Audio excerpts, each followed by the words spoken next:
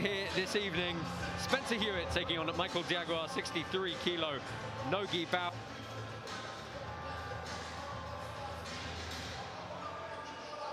Michael D'Aguiar, he is a BJJ brown belt under Roberto Almeida and Amauri Bitetti. Spencer Hewitt, BJJ black belt. Seen him once before at Polaris 4 back in October of 2016. Unfortunately fell by heel hook to Phil Harris. Big MMA background to Spencer Hewitt though. Josh Parler, Tom Barlow and Dan Strauss bringing you all the action here live from the Lighthouse here in Poole on the south coast of the Good. UK. And guys, we're in for a good night Okay, this evening. let's fight. Yeah, some excellent fights on the card.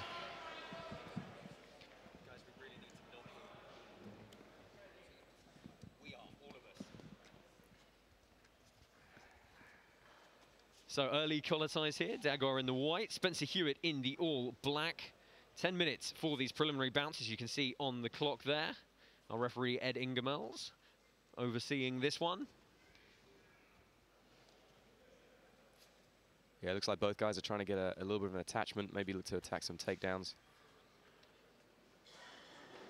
Yeah, I'm sure with uh, the MMA experience, Spencer Hewitt will be happy to get this into a bit more of a wrestling match, a bit more of a, a harsher type of grapple, perhaps. But Michael D'Aguiar, I'd say I don't know a whole lot about him other than the brown belt that he has. Looks for the Imanari roll, easily stepped out of by Hewitt.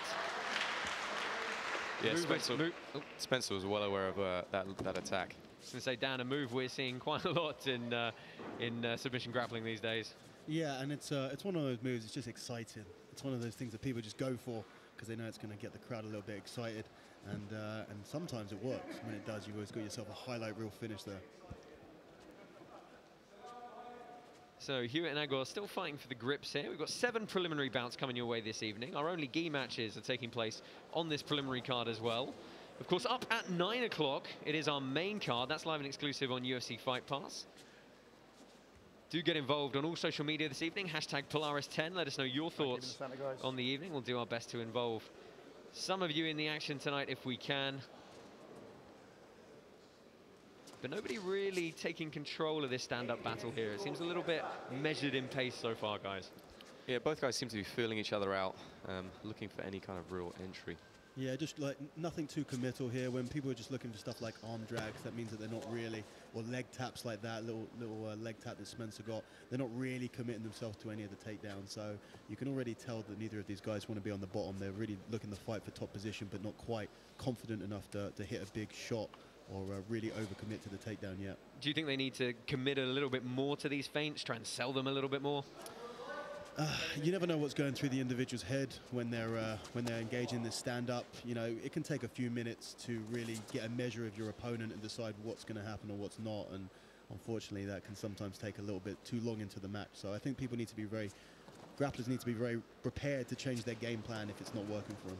Well, We're two and a half minutes into this first one, and so far it is just taking place on the feet here.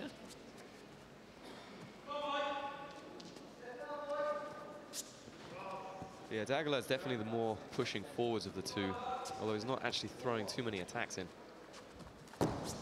Very vicious uh, grip break from Spencer Hewitt there, stomping the mat. Uh, a wry smile between the two of them. So forehead to forehead here. Nobody's really dominating that inside head position. We've seen Aguilar look for that snap down a couple of times now.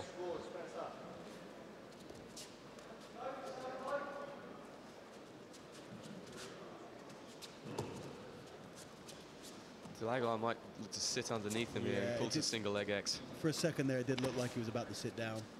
Which at this point, you know, you're getting mm, four minutes into the match. You're thinking, if nothing's happening here, I'd rather uh, hit the hit the ground and see what we can get going there. Yeah, I mean, I think it's it's about now the referees will probably have to start looking at, you know, not necessarily stalling calls, but just letting the fighters know they need to need to push this forward a little bit.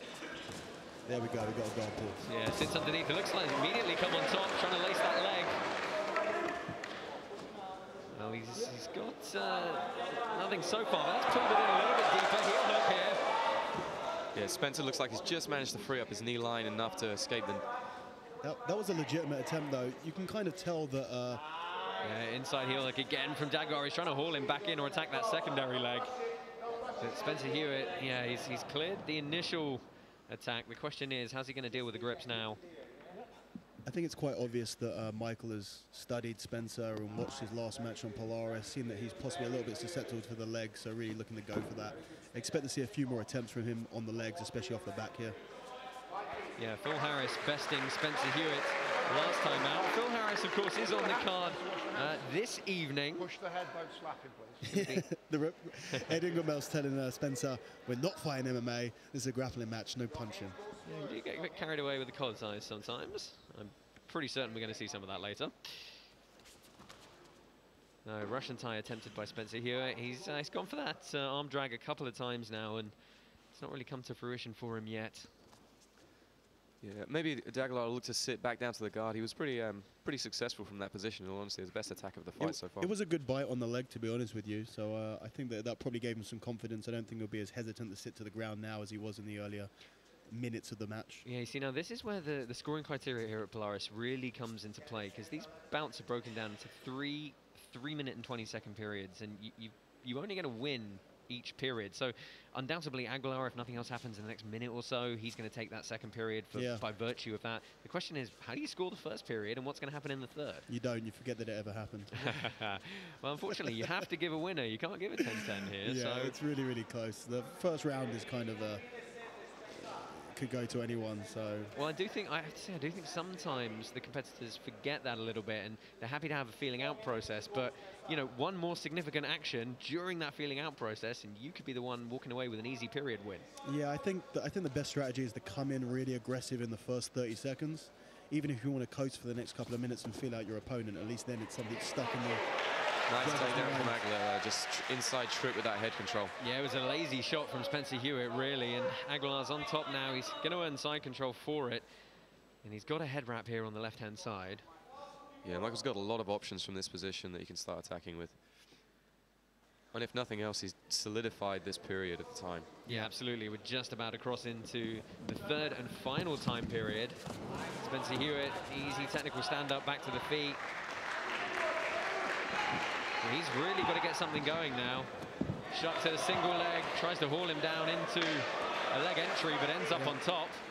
Unorthodox takedown, but it worked.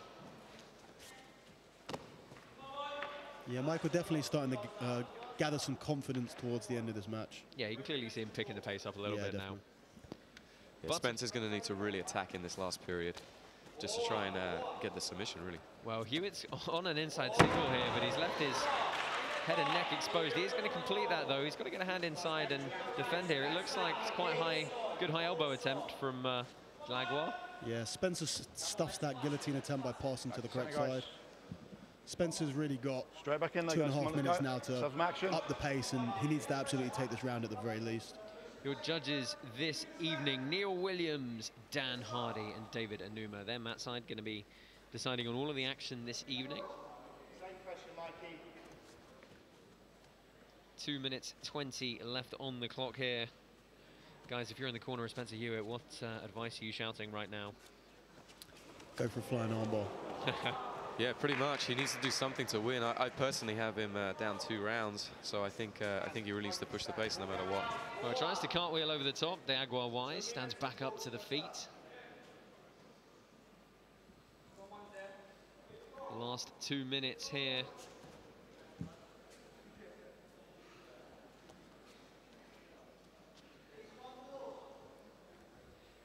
Lots more action coming your way this evening. The next bout on tonight's card, Trevor Birmingham from just down the road in Southampton is going to be taking on Enrique Villasenor.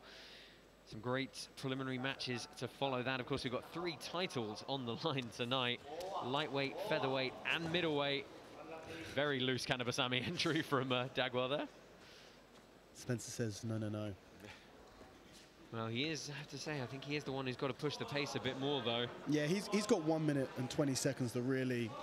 He needs to absolutely do something dramatic to either finish the fight at this point or to uh, at the very least secure this last round. And even then, I don't think it's uh, looking too good for him. Yeah, there's not back that sense of urgency that he needs, really. back in, please. Well, the crowd, are, the crowd are trying to do something and uh, get behind the fighters, but uh, final 57 seconds here. Spencer Hewitt again looking at that leg tap. Yeah, it's, uh, you know, one minute left of the match. There's no point feinting at this point. You might as well be looking to shoot, putting 100% effort into everything. Uh, instead of just slowly letting the match slip out of your fingers. Yeah, guard pull from D'Aguiar again, looking to get all the way underneath. You can see he's pulled to You- that inside butterfly, attacking that far arm. Yeah, I think it's quite obvious that uh, Michael's come in with a game plan, and the game plan's to get on those legs. Didn't really change level there at all, just uh, I think trying to throw Spencer off balance. But last 20 seconds here. Looks like we're going to go the distance in our opening bout here at Polaris 10 this evening. Live from the Lighthouse in Poole. Imanari roll again from D'Aguiar. That's a good bite onto an arm. I think that's probably enough to give him the third round. Absolutely.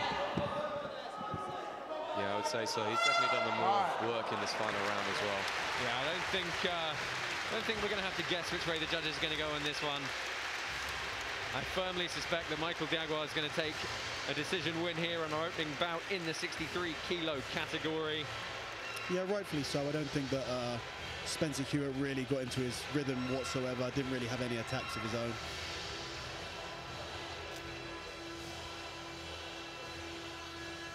Let's take a look at some of the replays from that opening match. There's some collar ties from D'Aguiar, and this was the good entry he had straight off the bat into almost a butterfly guard sweep into a leg entry. In here, snapping Spencer Hewitt down. Once he got that head and arm control, easy to rag him down to the mat with a change of direction. This was the unorthodox uh, kind of uh, suicide single leg, perhaps. Yeah, it was, it was definitely an attempted leg entry, and uh, Spencer defended it by rolling onto his back, and he just took the top position off of that. You see again here, Hewitt perhaps a little bit too static on that single, didn't move, didn't change the angle, allowed D'Aguiar to set up his defenses. Let's throw it over to our MC, Bade Johnson, who's going to have our official decision.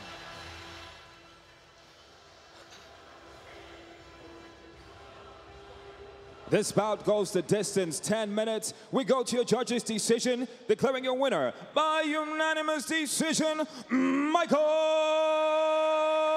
D'Aguiar.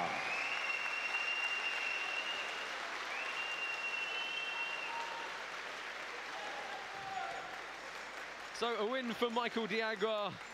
We'll see you in a few short seconds for our second bout this evening.